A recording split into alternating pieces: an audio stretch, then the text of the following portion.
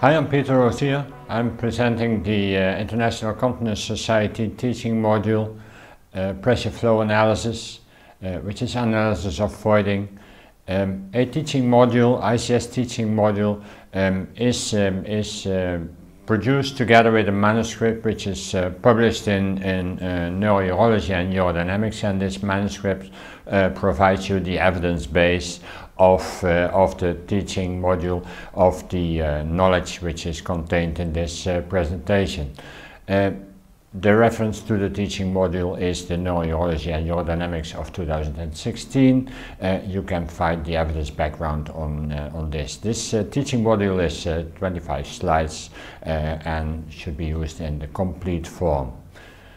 Normal lower urinary tract function uh, begins with bladder filling. The kidneys produce urine and urine fills the bladder and the bladder stretches because of the filling and the nervous system maintains the relaxed detrusor, maintains relaxation of the detrusor. And the nervous system ensures uh, low intravesical pressure because the uh, detrusor muscle accommodates to the filling uh, that the kidneys do. Uh, this tension activates, however, muscle stretch receptors and that uh, gives awareness, perception of fullness uh, a, on a gradual scale. It's proprioception, which is uh, neurologically uh, identical to uh, the sensation of, uh, of all the muscles in, in, in the human body.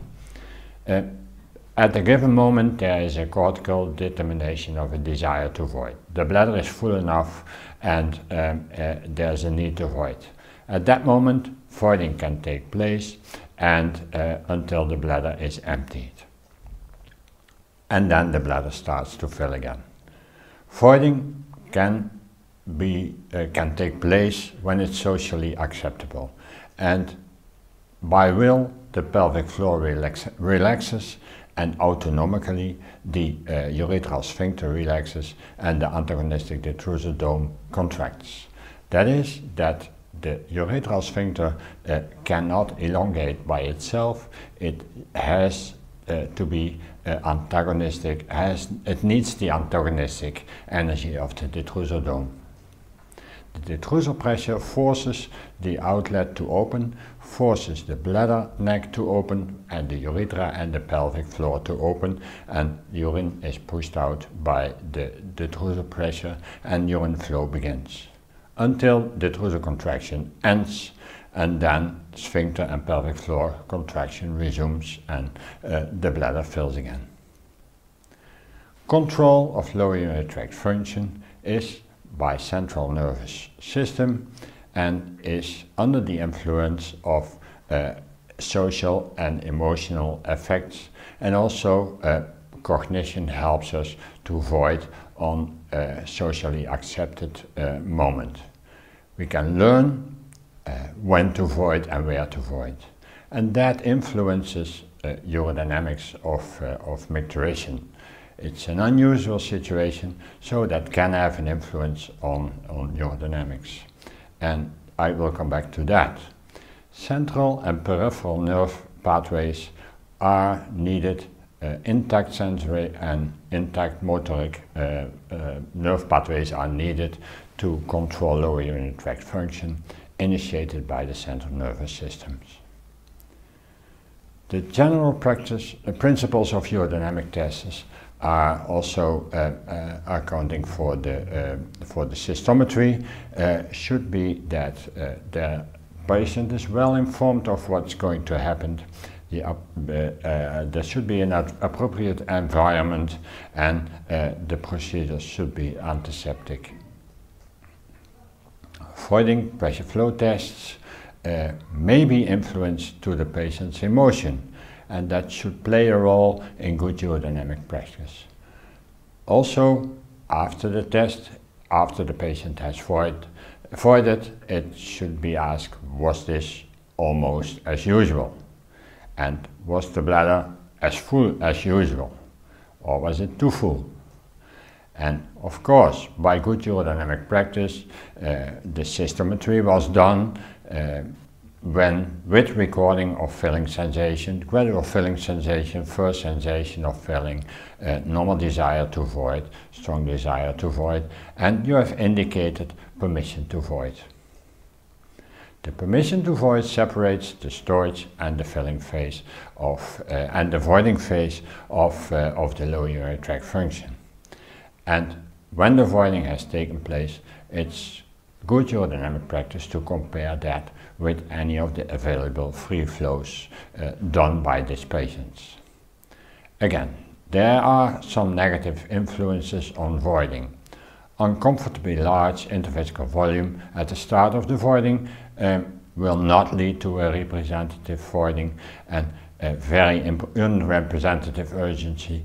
Too much urgency will uh, also lead to an unrepresentative voiding. On the other side, an extreme inhibition of overactive detrusor contractions before the start of voiding will lead to unrepresentativity.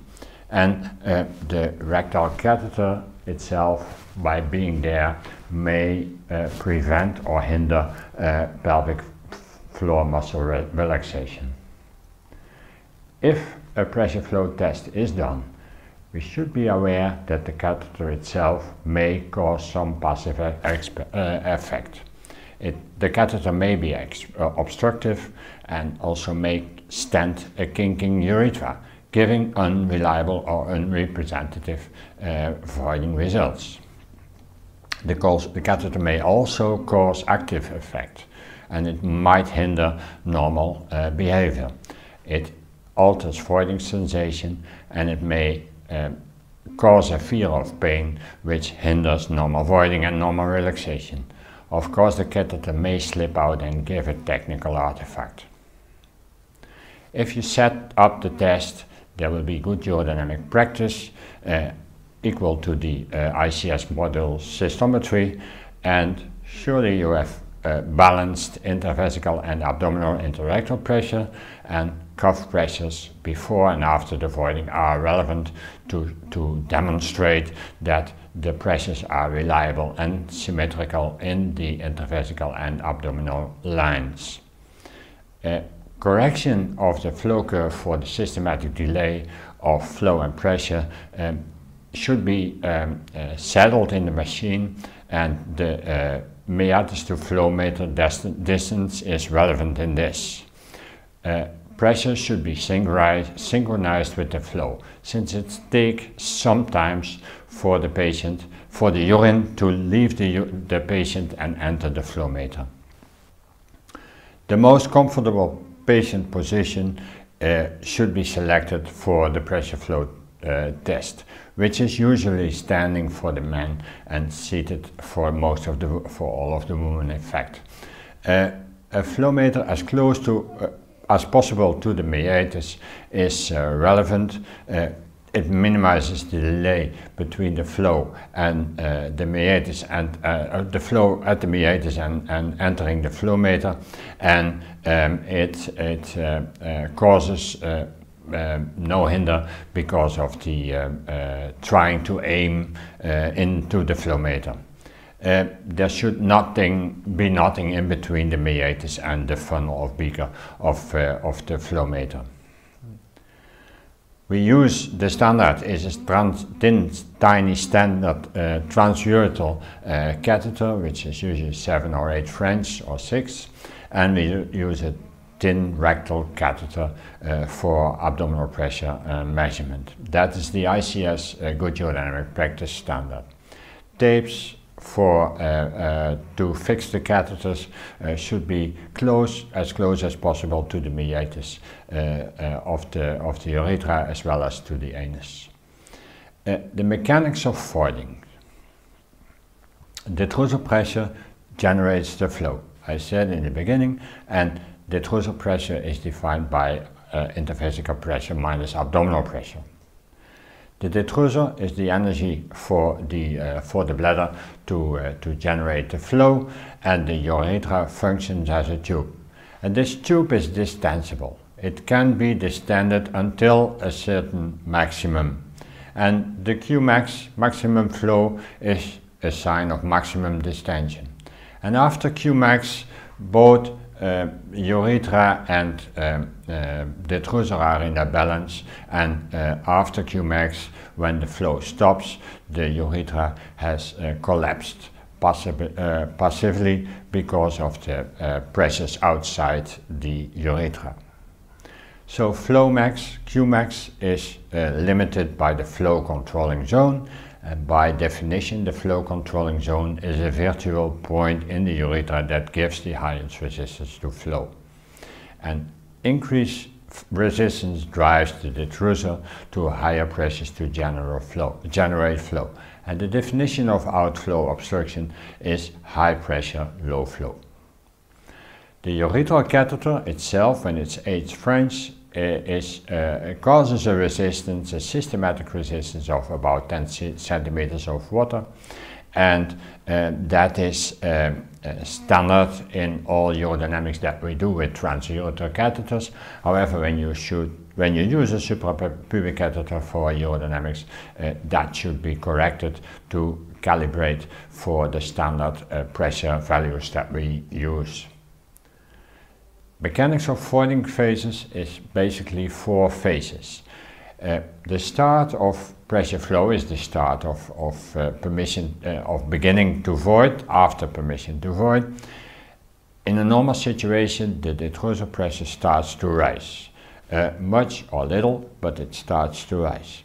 The detrusor pressure rises and the outlet is relaxed and becomes distended because of the, the, the rise of the detrusor pressure the pressure pushes away the outlet. So here's passive distension of the outlet between 1 and 2 on the graph that you see on the right hand side.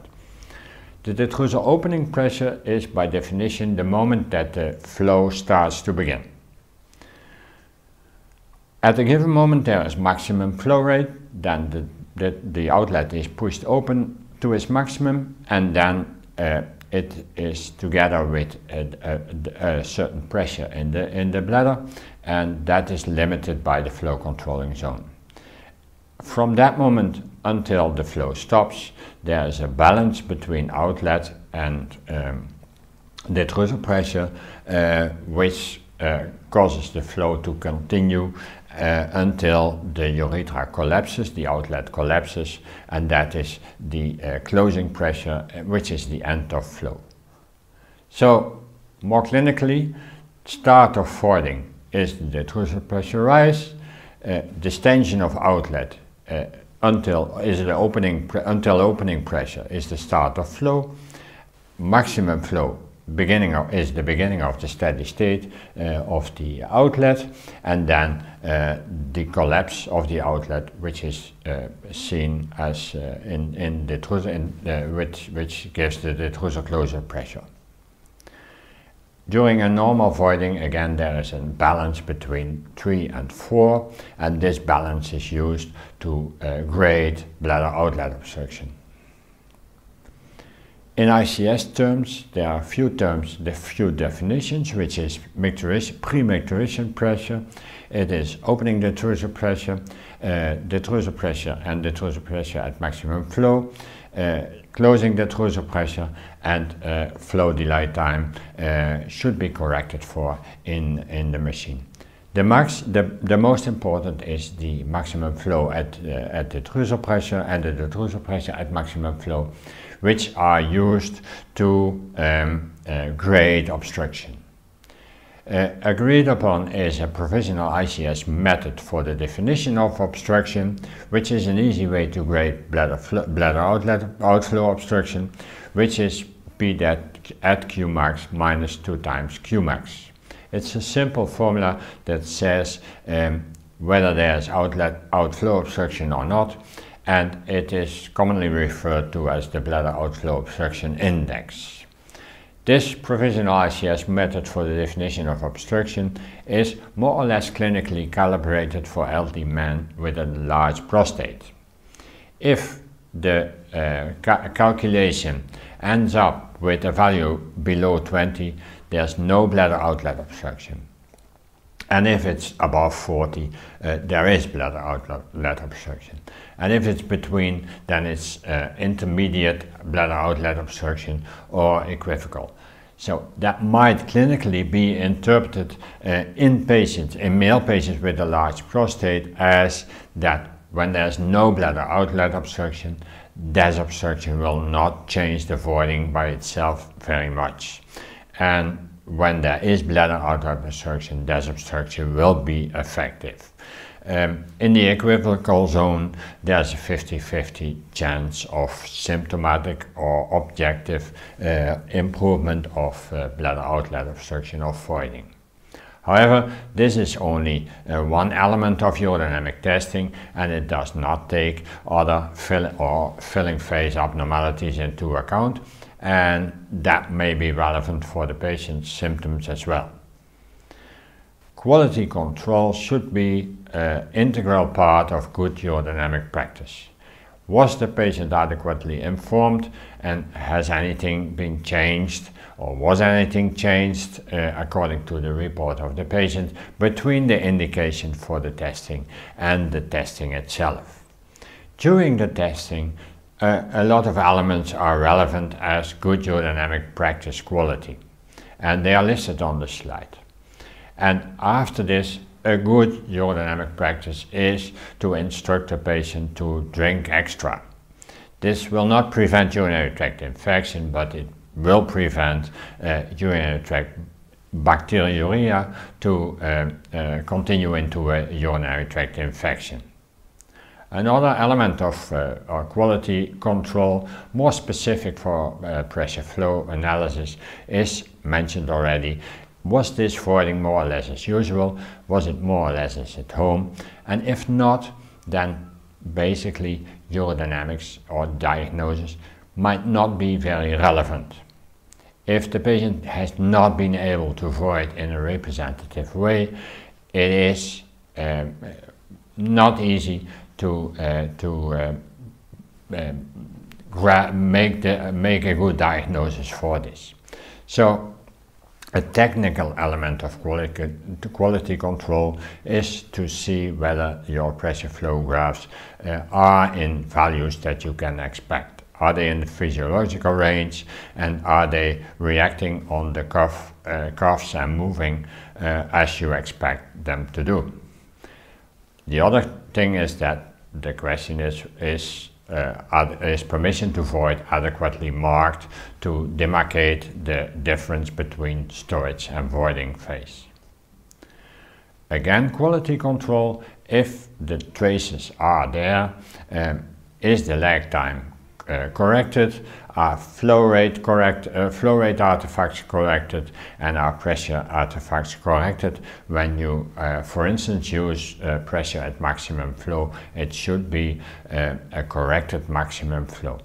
Um, if uh, there is possible for it residual, it should be measured, and then it should be able to to make an adequate diagnosis. If not, uh, repeat the test. And it's a good urodynamic practice to do a quality control analysis of the, of the urodynamic measurement of the cystometry and the pressure flow analysis before uh, taking out the catheters and uh, sending your patient away. So a pressure flow analysis plot can be made and is available on much of the machines. However, uh, that will be discussed in, in the advanced analysis uh, module. So, clinical quality, some patients are unable to void because of the situation and that might not be unexpected. Some patients tell you, I'm a shy voider, I cannot void other, at other places than at home. So the situation becomes even more difficult in a hospital, in a, in a laboratory situation. So uh, it, we should do our best to allow them to void as good as possible, but if they do not manage, sometimes there's no contraction, sometimes there's a, a only straining, and no contraction, no voiding is observed. This is because of the situation, which is not a medical diagnosis in itself, not a lower urinary tract function diagnosis, but it's the emotion. Some of those patients, they tend to start straining and do not produce anything, and this is not representative, and basically it's impossible to uh, label this pressure flow, which is an un unrepresentative voiding, uh, to a, clinical diagnosis or urological uh, or, or urogynecological diagnosis. Pressure flow analysis has a certain clinical uh, relevance that is most of most relevant in elderly men with a larger prostate.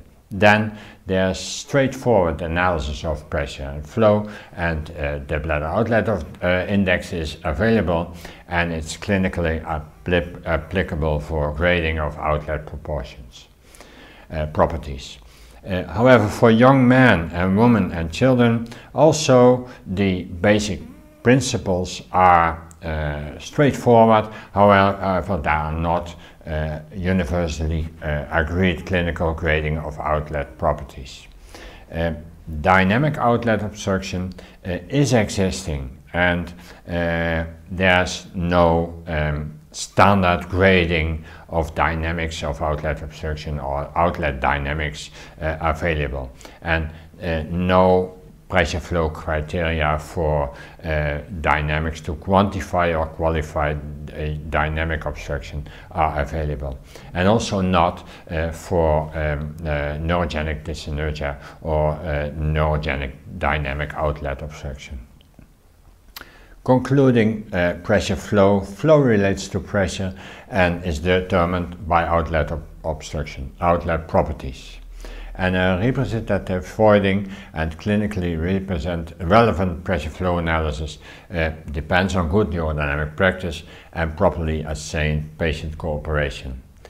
A very unrepresentative voiding or significant underactive detrusor contraction limits the value of pressure flow analysis and uh, pressure flow analysis and pressure flow starts by definition after permission to void, which is the demarcation between the filling phase and the storage phase of the bladder.